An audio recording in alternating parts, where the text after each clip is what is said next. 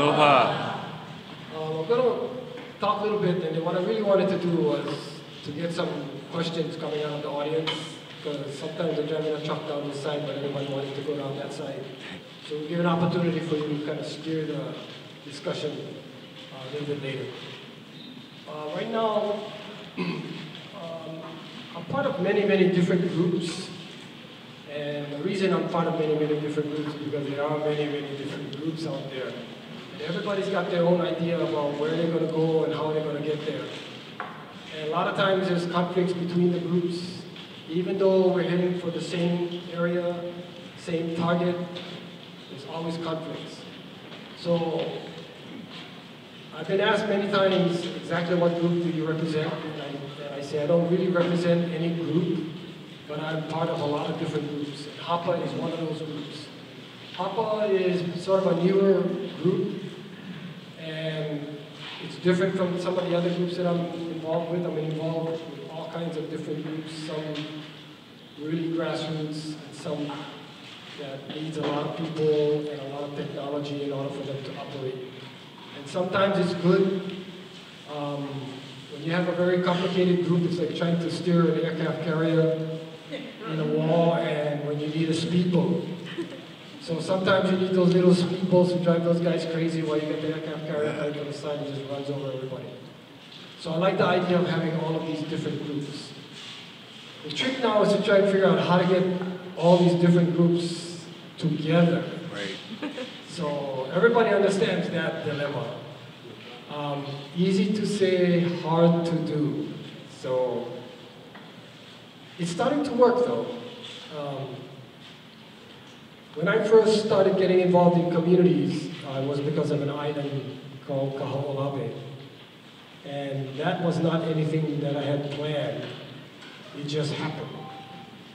And out of that came an involvement in the community.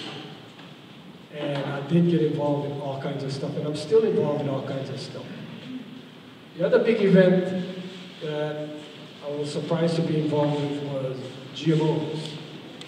And that was because the University of Hawaii decided that they were going to GMO the Hawaiian taro.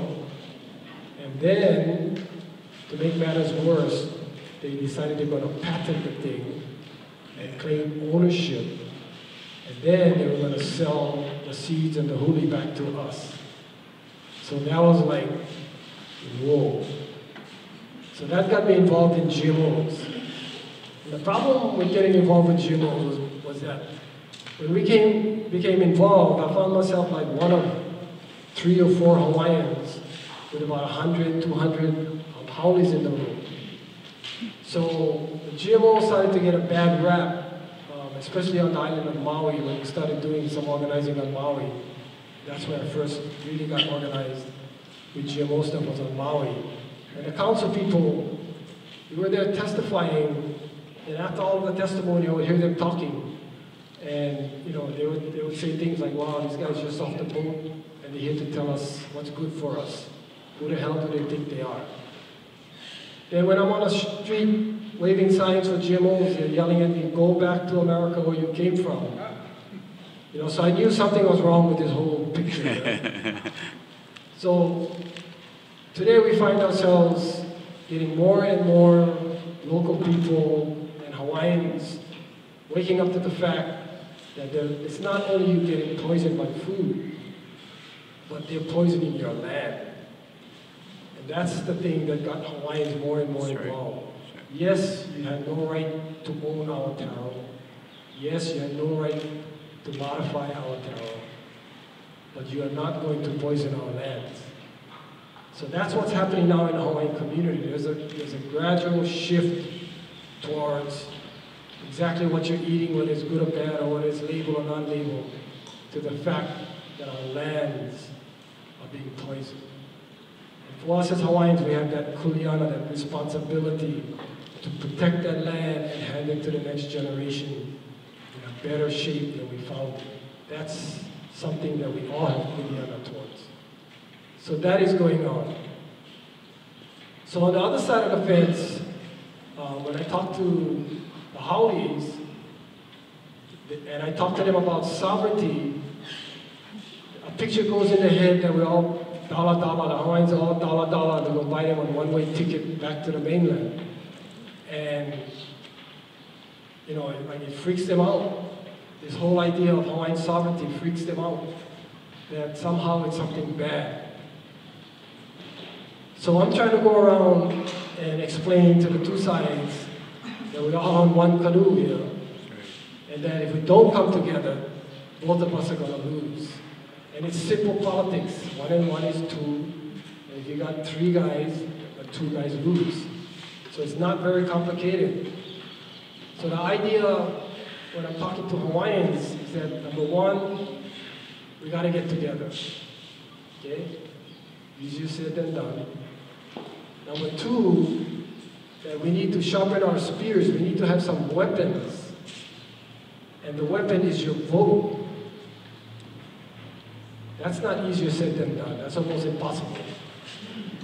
But now you're telling people that understand their history, and you're talking to people that know what happened. Our generation, we didn't know what happened. When we were doing Kaho'olawe, we didn't know there was an overthrow. That's how well colonization was done. Took our educational system put things in there and left things out. So this generation that we're dealing with now, especially on Mauna Kea, is a generation that went to charter schools, schools that taught them about their culture, about their history, about their language, all the way through up through the University of Hawaii system where they got their degrees and their doctorates. These are the leaders that are out there now. These are the leaders that are leading us as Hawaiians with Mauna Kea. And they have caught the fancy, they have caught the vision of the Hawaiian people. The Hawaiian people are now having something that has to do with truth and honor, and they're coming together. They're not separating and fighting with each other like the media is saying. Mauna Kea is bringing Hawaiians together. It's becoming a common vision. And it's not a vision of Hawaiians versus telescopes. That is not what is happening on Mauna Kea. It's a unifying factor that only comes once, I don't know how often, if at all. So our politicians, including the Office of Foreign Affairs, they're misreading this whole thing of what's going on in community. So we have the Hawaiians coming together, okay? On the other side of the fence, we have GMO guys and we had like, I don't know, 2,000, 3,000 marching on the streets. And we were going, yeah, we got organized. The problem is, the same problem we're having in the Hawaiian community.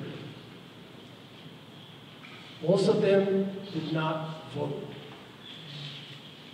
So there's a missing element in all of this. And in the Hawaiian community, not only did they did not vote, but they're, they cannot understand why you would go and enter into a system that is right. an illegal system that has been pushing you down, pushing you down, taking all of your resources, destroying all of your resources, and just getting richer and richer. Couldn't understand why you would participate in that system. So now we have a vision as Hawaiians. And that vision is that one day our nation is going to be back. It's always been there because of all of the studies and all of the papers and all of the laws that we found out have been broken. Now tells us as Hawaiians that we have a future. We just got to go get it. So while all of this is going on, the United States of America now is into, I think this week they're to be voting again on the TPP. And that's to get us into a whole different level that is above America or Hawaii or anything like that. It's going to be more all of these world order guys. And we're going to have another layer that we have to deal with. And none of us feel safe in that layer. So that gives us another reason as Hawaiians to push for us to get the Hawaiian nation back, which is a neutral country, back again. So the problem is, don't vote, and we're, we're at the bottom, but we're organizing. So what we've been doing as Hawaiians is we've been spending all of our time figuring out how we're going to keep organizing, and we're going to start pushing this idea that even though we have an illegal country that is in our nation, we're going to have to protect the resources that we have now because it's all disappearing faster than we can say anything. So, we're going to have, for instance, on the end of this month, on the 27th, we're having uh, a large concert. We expect 8,000 to 10,000 people to be at the shell. And we think it's going to happen. And one of the things we're going to do there is we're going to have voter registration. We're going to be talking about the importance of voting. After the concert, we expect to make some money out of the concert. We're going to go island to island to island with all of our entertainers. And we're going to do the same thing on every single island. We're going to organize every single island. And we're going to be getting not only voter registration, but we're going to have their contacts. So anytime we have to do something really quick, we're going to be able to contact people. So during the Kaho'olawe days, we had the newspapers and the television. They were actually reporters back then, not guys who fill in the blanks. And That's right. two sides of the story, we get no story whatsoever. We don't have those people here today. That's So now we have social media, which works even better. We're getting to learn how to use social media. One of the things that has made us successful so far, like the shirt that I'm wearing, it's almost becoming a brand already. And it's done by the young people. The young people that know how to talk to each other. He was a senator, and I bet you ten dollars that he didn't know how to talk to the young people. I don't know how to talk to the young people. They have the language all their own, and they wouldn't even listen anyway.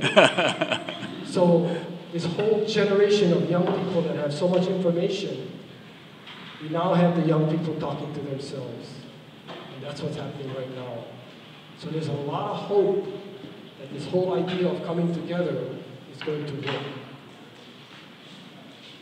So we need, what HAPA is doing is a more sophisticated way of organizing. It's part of the system. The group that he's been able to get together is a very technical, well-chosen group of people that can operate and handle almost every problem that you can think of, I think. In fact, sometimes I'm seeing there after half a day and they're still going at it and analyzing it and turning it over and looking at all sides and all this kind of stuff. So I'm really glad that I'm part of this HAPA group that, that really understands how politics really operate. And I'm also part of the grassroots people who know how to talk to each other and gather and come together. So for, for myself, the message that I would like to get out there is it's time for Hawaiians, and especially environmentalists, to come together under the banner of Aloha Aina. That's the common ground that joins both, both sides. And to try and convince the non-Hawaiians that you shouldn't be afraid of the Hawaiians. you shouldn't, because their goal is to make this a better place. They just want new tools to get there. They want to use the tools of their ancestors that allowed them to live here for 2,000 years. Proven values that allow you to live on little islands in the middle of the Pacific. Proven values. They believe in those values. These young people believe in those values. They want those values to come back. They want those values to be important values that allow us to make good decisions. So I'm going to, at that, this point, you know, it's a wide net out there. I want you to know that we're trying to bring people together. And I can stand up here all night and talk about all the things that we're trying to change or protect and all those kinds of problems that we have. And there's all kinds of problems. We just need to find the ones that we all agree upon and come together.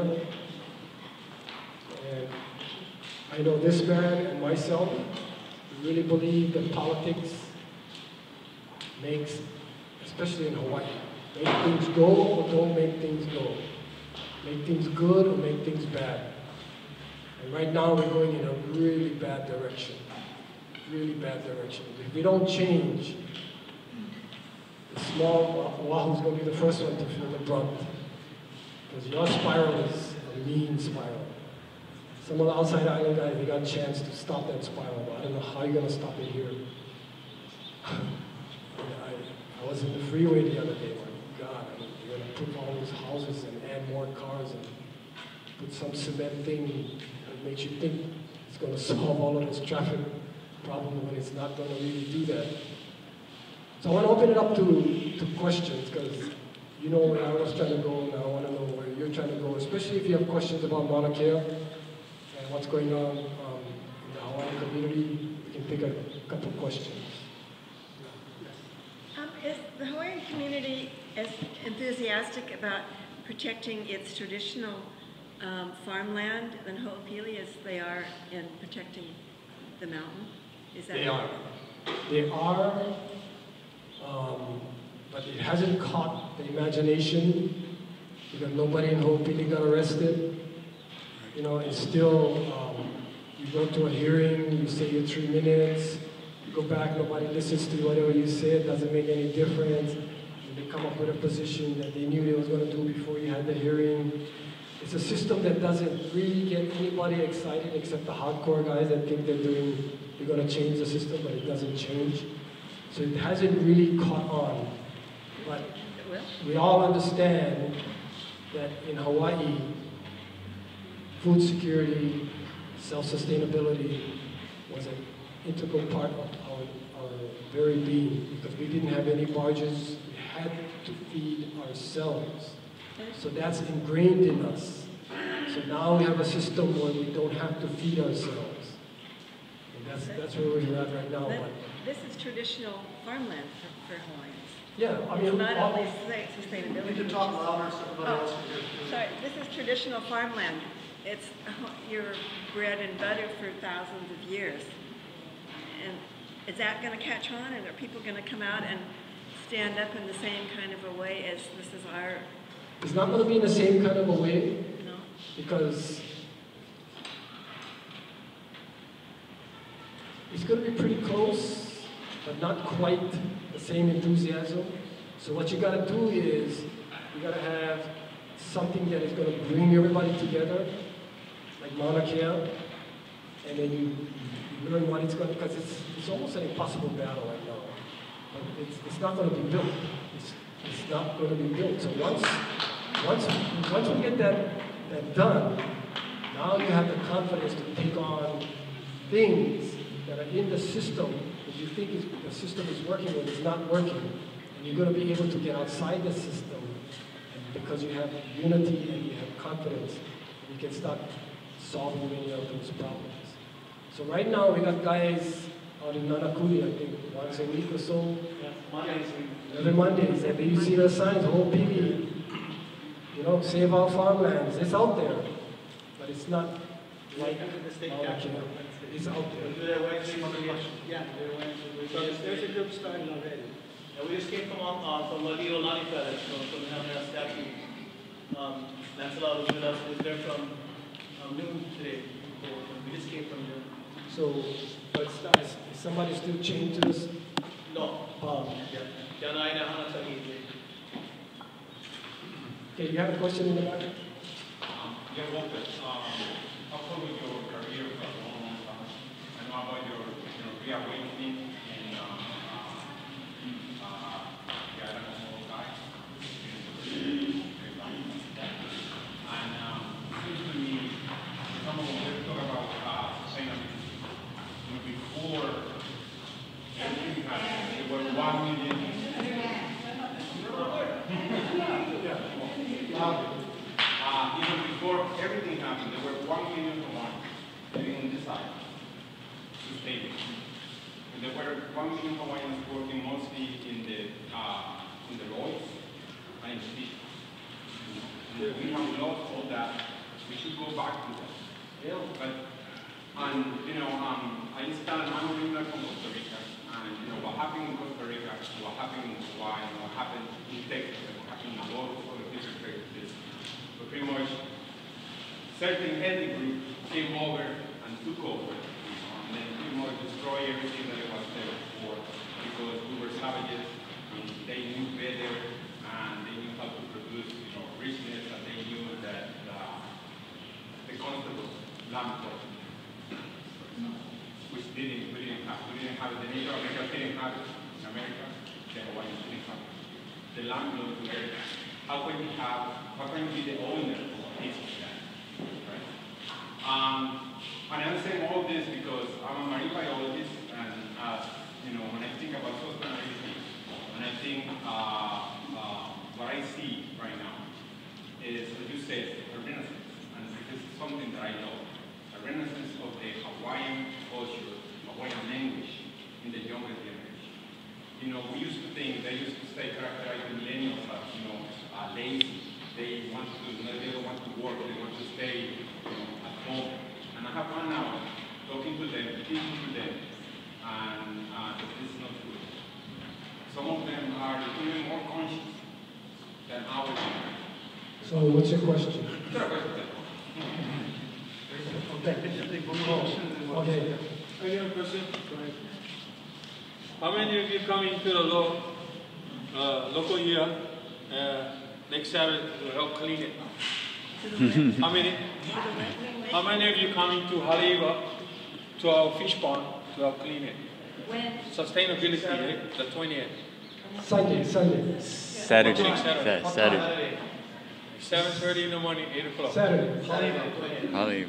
Please. Oh, How Sunday many of you? Like talk about sustainability.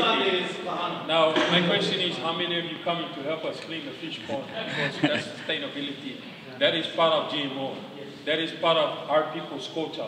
That is part of putting this back together to show them that we are serious about saving our land and not poisoning our loi where we raise our fish, uh, our loi where we raise our kalo, our loko i'as where we raise our fish. Please come and help us. And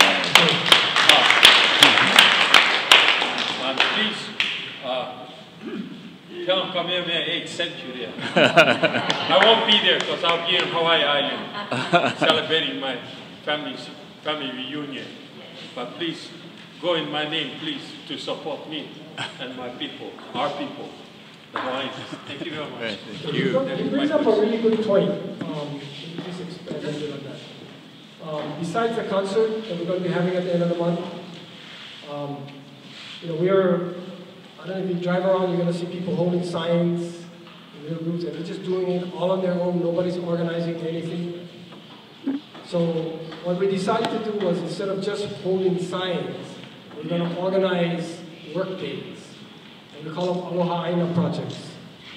If we're just holding the signs, I mean, it's okay, and we're standing there waving and waving and people waving back. Nothing gets built, we don't plant anything, we don't harvest anything. So we decided to do something useful.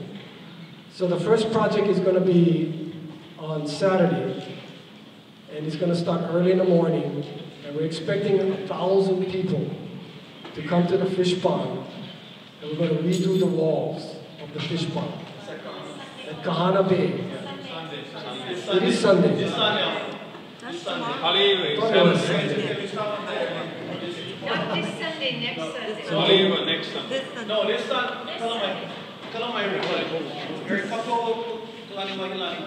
This Sunday at Kahana Bay, Next. thousand Kanakas they needed for come. We're gonna restore Pao Fish Pond from seven to twelve.